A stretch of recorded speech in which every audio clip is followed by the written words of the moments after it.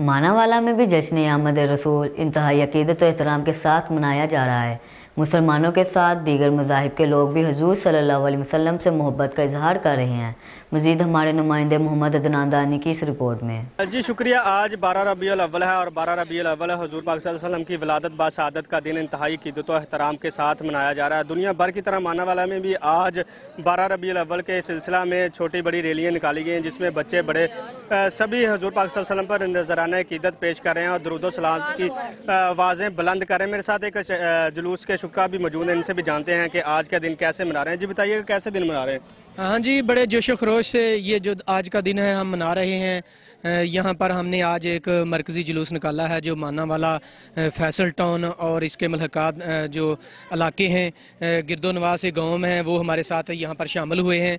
और हम, हमारा ये अख्ताम जो आज मरकज़ी जुलूस का अख्ताम है, ये ईदगाह वाली मस्जिद में आकर हुआ है। हमारे साथ जो हज़ारों आशकान रसूल ने यहाँ पर शिरकत की है। मक्की की आमद मरहबा मदनी की आमद मरहबा के नारे यहाँ पर हमने लगाए हैं। फ़जा में गूंज रहे थे। तो जी, बिल्कुल, इनका कहना था कि हज़ारों की तादाद में इधर जो शुरा हैं वो मौजूद हैं। अगर बात की जाए सिक्योरिटी की तो सिक्योरिटी के भी जुलूस में इंतहाई सख्त इंतज़ाम किए गए हैं। जुलूस के रस्ते में लंगरों का भी सिलसिला जारी है और सबीलें भी पानी की लगाई गई हैं। जी।